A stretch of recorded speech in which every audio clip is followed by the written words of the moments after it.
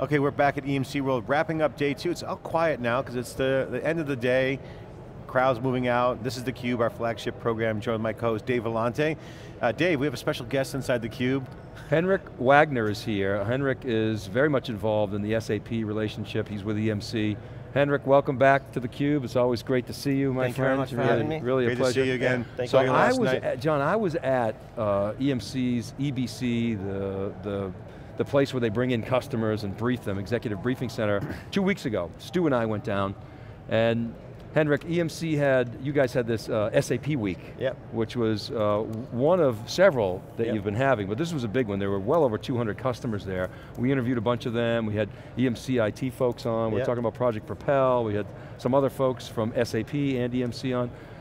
Talk about that event. I mean, that's pretty amazing. You get, Sure. what, 250 customers to Yep. come to your EBC all at once. Yep. Usually yeah. it's a you know onesie twosie type of thing. Yeah, no, it's an interesting uh, uh, learning experience and what we've uh, done with the SAP Week concept.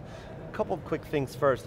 What we've learned is, over the last couple of years, is that uh, our SAP customers, specifically the SAP customers, are there and they want to learn from each other, right? They want to collaborate and learn from each other.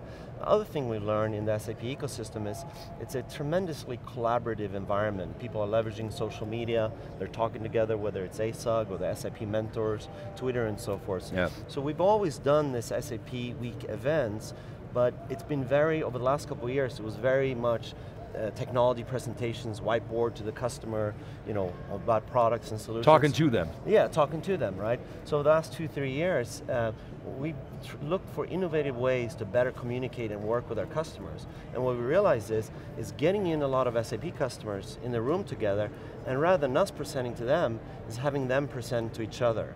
Create kind of a user group environment where they're talking to each other, customers presenting to other customers. We have um, um, you know, uh, EMC Project Propel over there speaking, and then also we incorporate things like joint dinners where everybody's coming, and we specifically put clients together that have things in common. Maybe they're going through an x86 replatforming project, maybe they're deploying SAP uh, HANA on BW and so forth. So the whole concept is uh, getting customers connected and collaborating together so they can learn from each other versus just hearing about our products and solutions.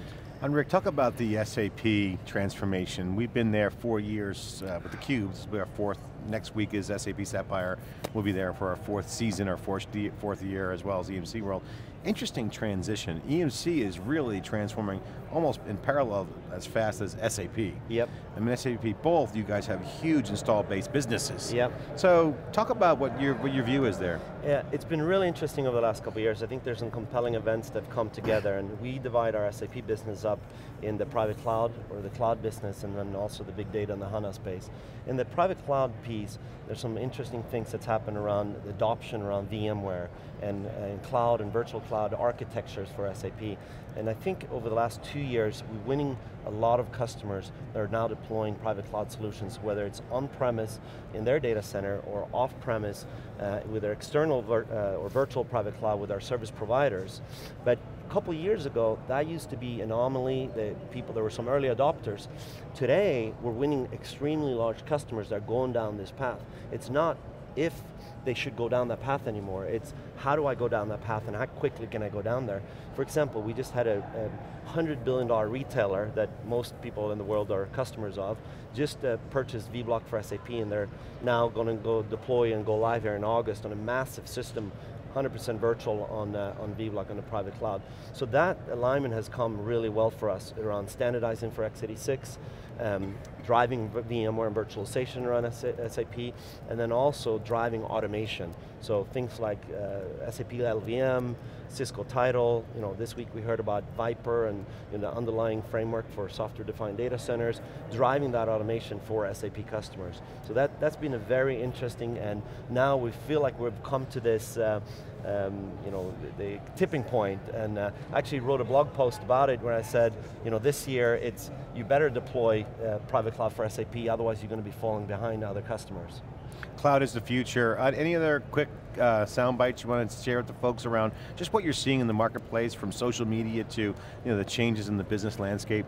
You know, uh, very interesting. Uh, we, we've connected with a lot of customers and ecosystems and partners around social media. I think our executives, uh, uh, uh, Jeremy Burton and uh, was talking about it yesterday around aligning with our strategy and our customer strategy, but then aligning with the ecosystem. And one of the outlets we've been able to see to do that is doing that through user groups, through social media, through Twitter, communicating because the ecosystem around SAP is communicating that way. I'll give you one example, which is kind of an interesting new way of, of getting data or information out to our clients. Uh, at actually the um, SAP Week event, uh, we had the EMC Project Propel folks there. Mike Harding is one of the head architects. Um, we convinced him one of the evenings to start his own Twitter account which he started tweeting about Propel, but the next night, we came up with the idea of starting a Twitter account that's called Put It On HANA. So Twitter, tw uh, Twitter handle name is Put It On HANA, and what Mike Harding is doing, he's documenting on Put It On HANA everything that EMCIT is doing around HANA.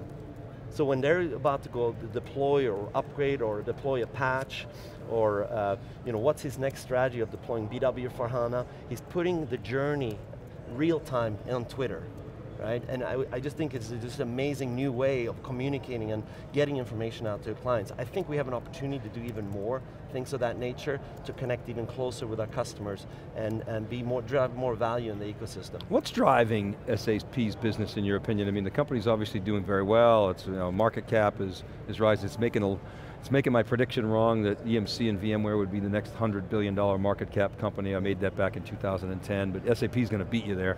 and, uh, what's driving their business? You know, uh, I think uh, Steve Lucas said it really well in one of his uh, keynote presentations a couple weeks ago. Uh, they want their customers, they want to innovate and for their customers, and they want the customers to innovate so they can move faster.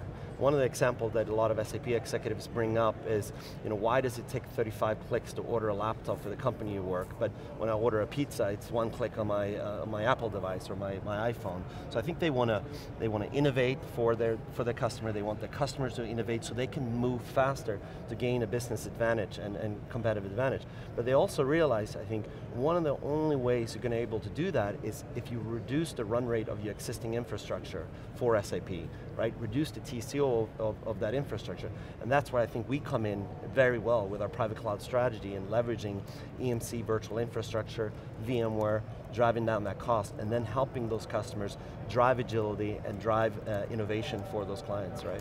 Yeah, what, are your thoughts on just the industry in general? I mean, you got the big players that are just really solid, right? They got momentum, they got uh, giant balance sheets, they're using them. You know, even if, the, even, if, even if they're not growing a lot, their profits are growing, and they just, they continue to, you know, even, this, the, even the biggest ones, truck along, um, and you got startups, they innovate, and then they get sucked in. Yep. You know, is that sort of where we're at now? I mean, this is where we're at in the business. Is that, is that it? Is that what we're going to see sort of indefinitely in your opinion, or? Well, I think it's interesting how EMC's been able to position themselves and continue to drive, outdrive R&D and acquisitions than our competitors compared to our, the size of our company, right? Mm. So most executives have talked about that. The amount of money we spend on R&D and acquisition is, looks like we continuously stay ahead of that innovation curve, being the size of the company we have. And, and uh, to me, that's just,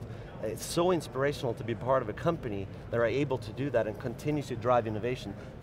Doing things like the Pivotal Initiative, doing things like uh, you know, the joint partnership with VCE for, uh, and so forth. How were you able to do that? I mean, you just go back in the heritage because, because you know, let's face it, your customers are heads down customers. Most of them are just you know, trying to solve storage problems, yet EMC is able to you know, break out the the glass of the, the, the goggles and see you know, distances. I think How is that? combination of forces of CIOs not getting the budgets they need from the CFO the next year. They're being forced to come up with opportunities to Mm. reduce run rate from 10 to 15%. And then at the same time, they're looking, and the uh, CIOs and IT organizations are looking for ways to bring more value and be more relevant to the boardroom. And the way they can do that is making IT into competitive advantage.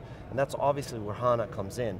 The customers that really get HANA, they're the ones that put their data people, their business people, their IT people in one room, right? And they come up with an, an, an analytics use case or a business case and a use case, leverage HANA that directly impacts the way they do business, right? On gaining customers or retaining customers or creating new revenue streams for them. So I think there's a combination of pull and push that we're seeing and EMC's fortunate to be very well positioned in that space. Henrik Wagner, thanks for coming on theCUBE, you're a friend. We wanted to get you in because we had a great conversation last night. Also, we'll see you next week at SAP Sapphire again. Um, but again, thanks for sharing that perspective. Love talking social media with you last night. Uh, I know you got a great vision you're on. You understand what we do. We love, love chatting with you. And again, EMC's been a great success partner with SAP, thanks to you guys. So, okay, we'll be right back with our day two wrap up. Dave and I will wrap up day two after this short break, so stay with us. If you're still watching, hang on for one more segment.